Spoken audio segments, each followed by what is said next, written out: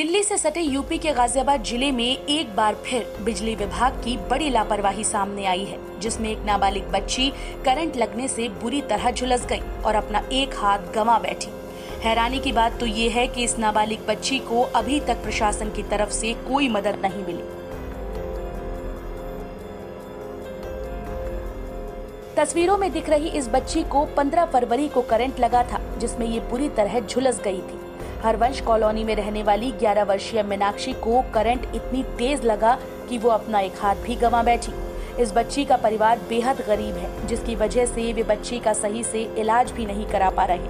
बच्ची के पिता ने आरोप लगाया कि उनकी कोई भी अधिकारी मदद नहीं कर रहा है। वे तमाम अधिकारियों और नेताओं से शिकायत कर चुके हैं, लेकिन उन्हें किसी भी तरह की कोई मदद नहीं दी जा रही।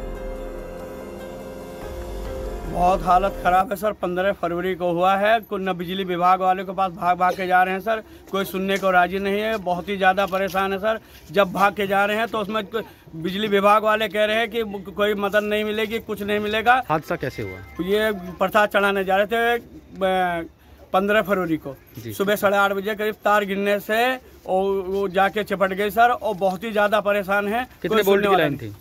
कितने वोल्टेज की लाइन थी? वो पंद्रह ग्यारह हज़ार की वोल्टेज थी। अब बच्ची कितना शरीर खराब हो गया? बहुत ही ज़्यादा एक अंगूठा खराब हो गया सर। एक पूरा हाथ चला गया सर कंधे से और पूरा शरीर पेट और टांग जली हुई है। बहुत ही ज़्यादा परेशान है सर बहुत ही ज़्यादा परेशान है।